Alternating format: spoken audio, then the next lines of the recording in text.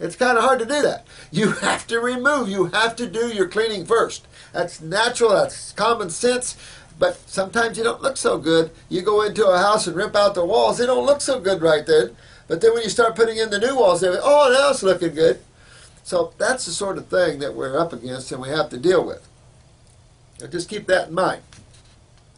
Uh, I've never done celery juice by itself.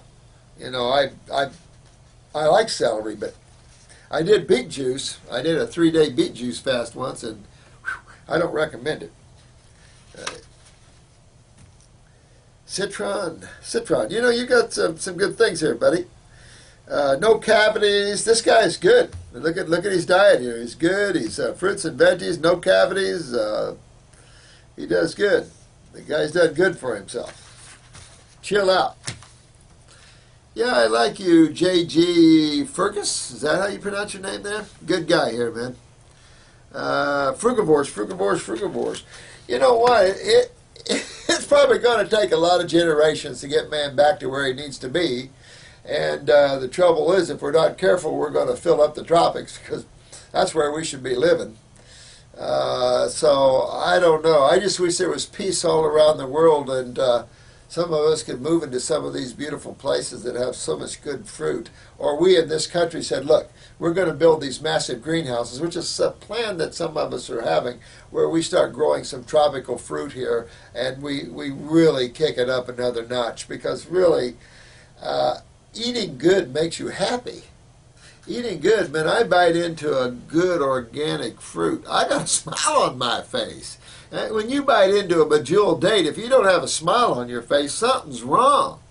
So that's the thing. You know, the animals are in ecstasy from eating the foods their body's designed to eat. And I remember as a fruitarian, I was in ecstasy all the time.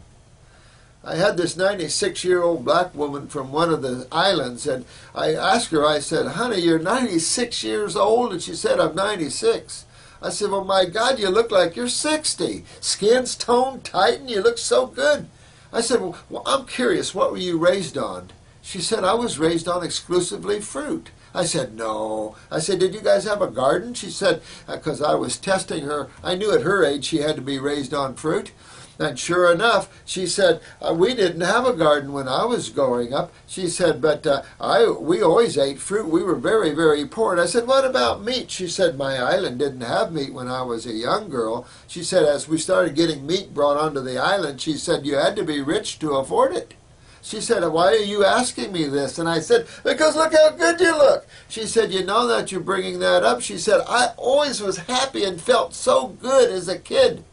Here's a 96 year old woman, full bed of teeth, body like to kill for, 96, raised on fruit.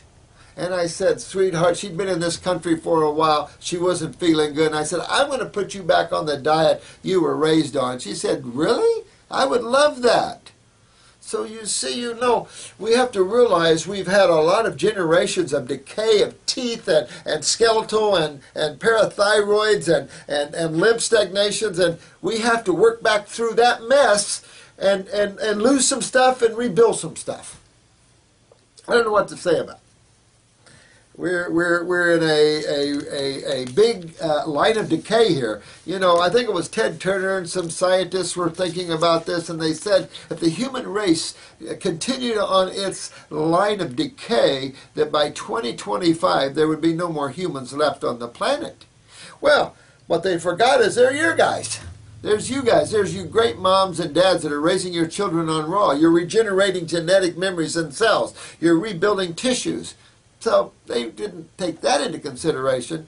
But in reality, if in what they were saying, if no one ever cared about their health, that's what would happen. The humans are losing the battle big time, and you see it in the kids with serious trouble, like I said, in the children. Uh, hiatal hernia, hiatus hernia. Again, that swelling of the esophagus. And again, that's that same lymph, mucus, swelling, and that's what acids do. They swell, create mucus. So when you detoxify, you're going to get some mucus, can work up to the throat. You're going to see that stuff working out of you, honey. Mucus in the stools. Really start moving that lymph and working on that, and that herniated area will come in and, and become a good esophageal wall again. Uh, Tina, Tina, Tina, Tina. Uh, yeah, you're right. I don't sleep, Tina.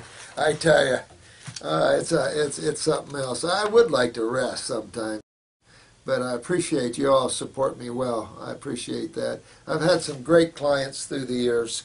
Uh, a lot of famous singers and stuff. A lot of musicians. I'm a musician, and um, I've just had a lot of good people, and it, it's just and, and, and, and just from every walk of life, every level, and and you guys are all great, and and that's what's important. I think this is a a, a serious bonding needs to take place. So we're walking, bringing the light into the darkness, and no more the suffering and pain of these souls that are captured in these idiotic souls that like narcissistic control and stuff. They gotta gotta end that kind of thinking. Uh, pine needles. Oh, this was a, we asked about that reproductive stopper, pine needles. I might have to think about that. That might be interesting. I know they're very acidic, but uh, well, that might be interesting. I, I would love to have some natural birth control for people because women are getting beat up with all these uh, steroids they're taking, and it's like, no, we can't keep hurting people. And a lot of women are dying on this one. It's like, oh my God we, we got to we got to find a, a, better way. And so, yeah, all this information is good. I'll definitely research their uh, uh, my healthier me. good, I love that. You guys are great. You're so great.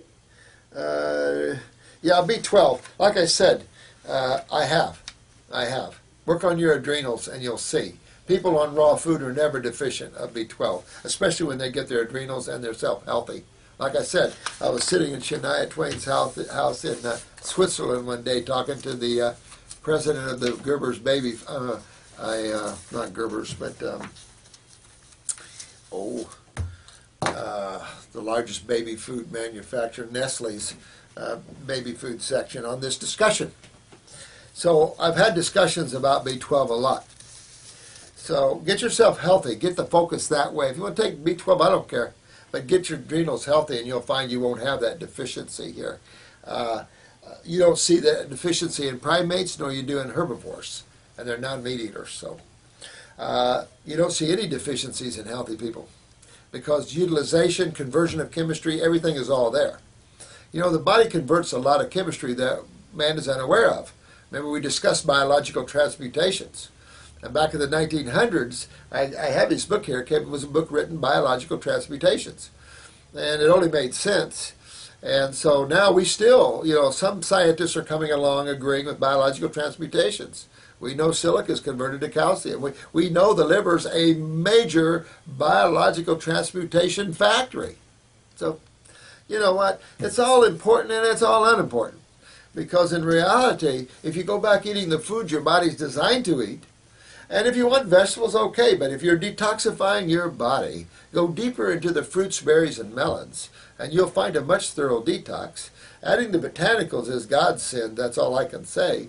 And your God, it's just time, it's working through these problems, and, uh, you know, like this one guy said, chill out, relax, uh, uh, work through it. Uh, you got us to help you, uh, and you'll be good. So listen, thank you again. I'm probably not going to, I think tomorrow they're going to shoot a video of our office and to show you kind of our workspace here so you'll you'll understand who you're looking at and talking to. Kathy's going to do a little one here on the school so it'll help you answer some questions and then uh, uh, probably won't get back to you till next week on the questions but uh, thank you so much. Thank you so much. You guys, great weekend. Great weekend. Thank you. Bye-bye now.